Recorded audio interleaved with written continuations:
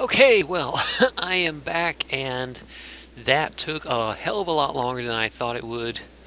I needed so much of that electric steel, but I finally got all of the capacitor banks I needed.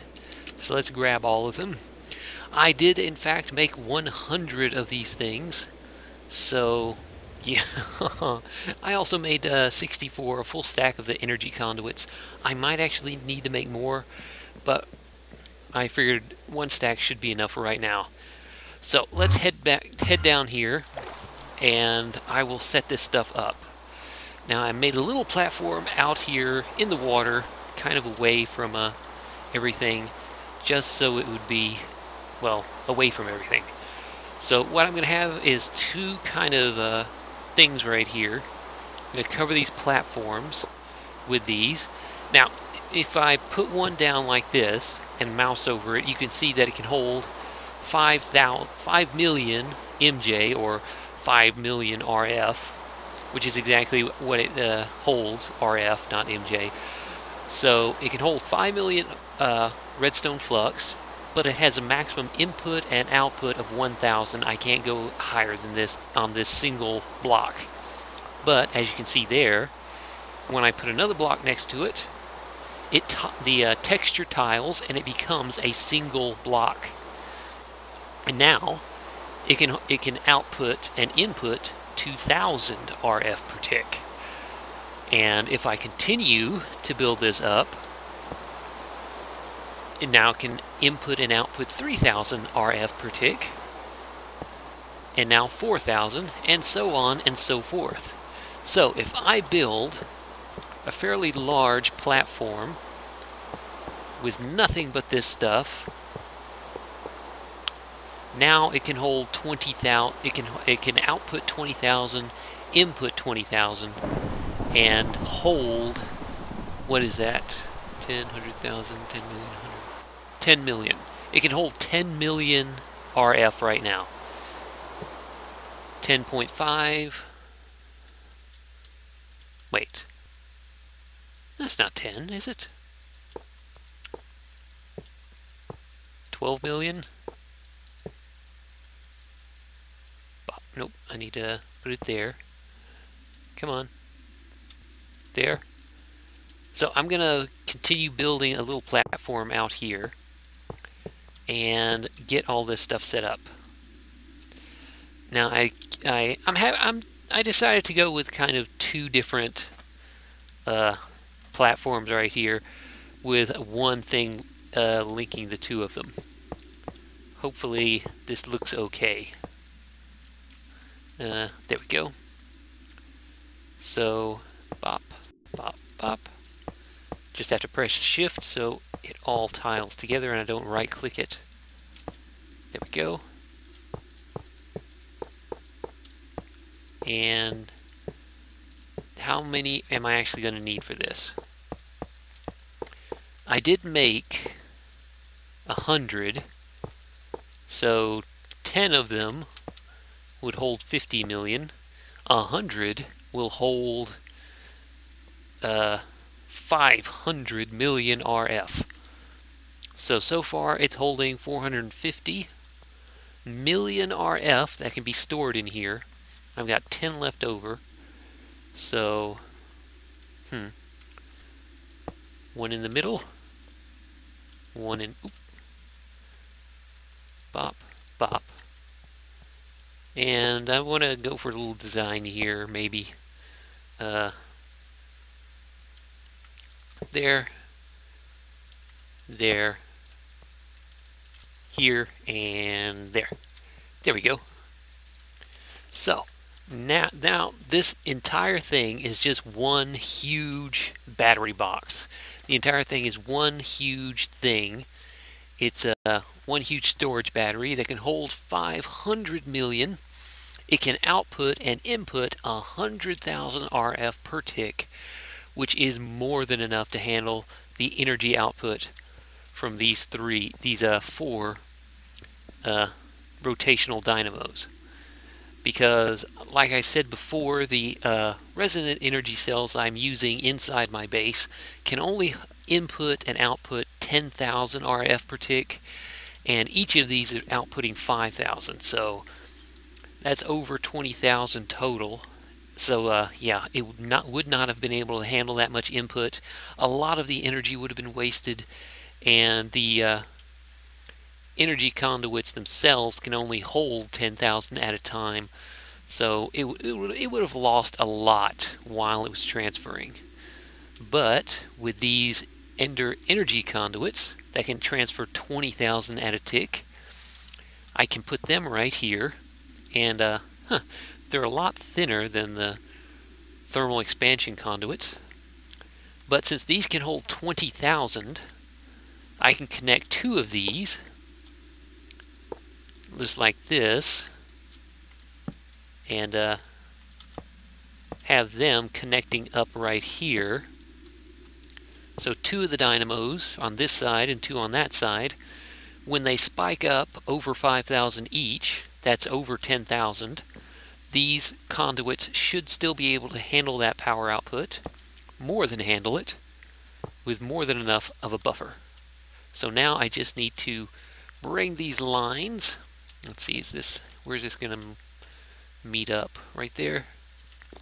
So if I put it right here, and have this one coming out right here, it should, oop, uh, bop, there. So I should be able to run a line all the way.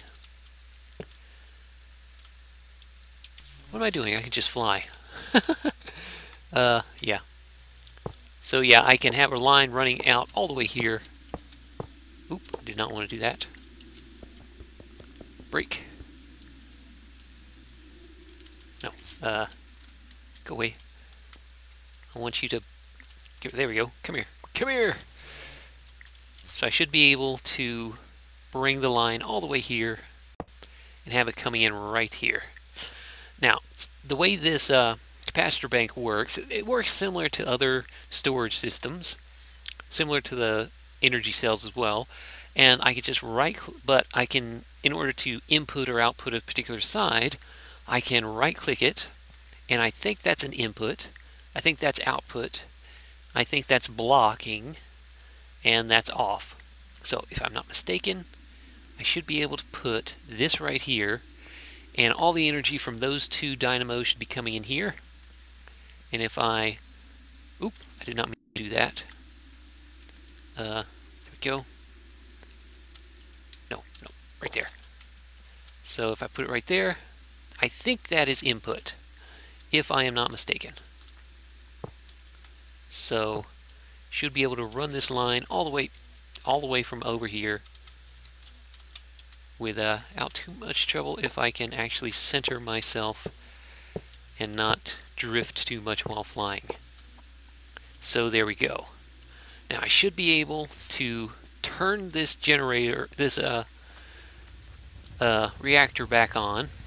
Uh, I do need to put the fuel back in there because I took it out because it was using up the fuel a little bit. So that is a concern. Uh, let's see, one, two, three, four. I took it out of the four center square ones. That way it would stop any uh, kind of reaction that was happening. 3% depleted. So if I put that one in there, put this one in here, and there, and there, I should be able to come up here, turn this on, retract all, and I just need to come over here and hook this back up because I took the uh, steam vent out just to save any of the steam that was uh, saved up in this pipe. I didn't want it to just go out, be running non-stop with nothing actually being powered because it would just, all the steam would just continue to flow through that uh, steam vent right there and just be wasted. So I figured it, be, it was better than uh, just having it being wasted like that. So let's take a look and see if this is actually charging. It looks like it actually is. It's already up to 2 million of 500 million. And like I said, like I showed before, this can generate upwards of 20 million RF per tick. 20,000 RF per tick once it this uh, gets up to speed. So this will put out a lot of energy. I'm not exactly sure how fast or how uh, far, how long it'll take to actually fill this up. I mean, this is 500 million, but it seems to be going at a pretty good tick right now. Let's see, is it up to speed yet? Yep, looks like it. Pretty close to up to speed.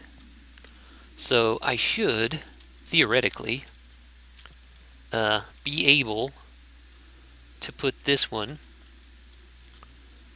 uh, send only, receive only. Let's see, I had one of these. I should be able to put this on here. Come on. And is this working? Yeah, that's still working. So I should be able reactor power general use. Now I did set up two new ones The one's for general use which is the one I've been using and reactor power which is going to be the network I'm going to be using for this. Now item mode blocked fluid mode blocked energy mode send send only. This one should be sending power blocked all items blocked all fluid and sending power Okay, so now I just need to head up there and hook up this other tesseract. Uh, if I can, oop, nope, I'm going to get down there if I ever stop lagging. Now, what I plan on doing is I cleared out this uh, these blocks that were right here. I have this tesseract. I'm going to sit right here. General use. No, it's now set to reactor. Set it to reactor item mode, blocked, fluid mode, blocked, blocked, send only, receive only. Now, I can hook some redstone conduits up here, and it should output power. Is it outputting power to it? Hmm? Is it? Uh, is receiving any, any energy at all? Doesn't look like it.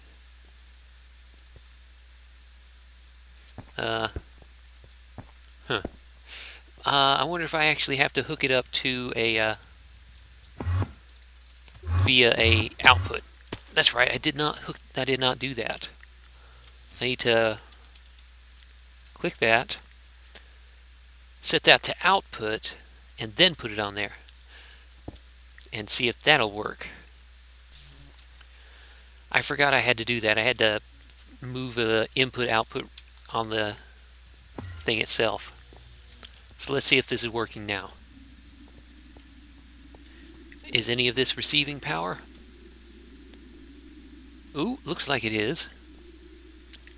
Looks like it is charging these energy cells up a hell of a lot faster because it's sure as hell not coming from all of these uh, uh, magmatic dynamos.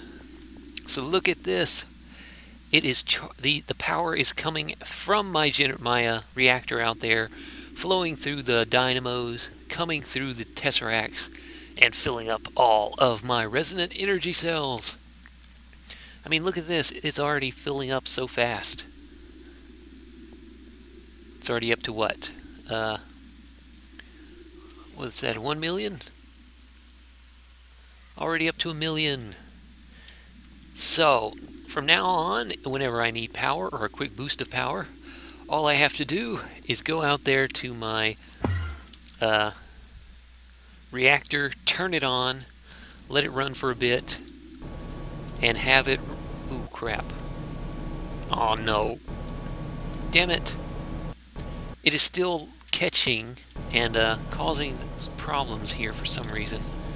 I don't know what's happening. Why is it still doing that? Uh, damn it. I guess I have to put a... Oop, ow, ow, ow. I guess I have to leave a square open. Ooh. I don't want to get caught in those fan blades. uh, so, yeah. uh, from now on, all I have to do is, well, first off, I need to figure out why and where all that steam is, is leaking from. It shouldn't be leaking at all. It should all be coming out underneath the bottom, coming out underneath that shaft and being sent into those two condensers and then sent out here to the uh, void, fluid void. But apparently it's uh, getting loose someplace. So yeah, uh, let's see how fast is this filling up. Oh, and another thing this thing it uh, has, it has this little bar on the side that you can actually look on it and see how much power it has. So as the power fills up, the bar fills up, and you can just look at it and see at a distance. So right now it has 80 million, so about a 20% uh, filled. Mm, not a lot, but it is filling up very, very fast, so that is nice. Um, let's see, anything else I need to do? Uh, let's see. Got all the dynamos hooked up to the power grid. I got that hooked up. I got... Ooh, I do need to run a line down here to my actual uh, redstone thing because the ME controller needs power. So, I think I'm going to do that. Come on, go up there. Do I have enough line? I have 30 of this, so I might use this. Do I have enough room, though? Do I have enough line itself? Hmm. I might not.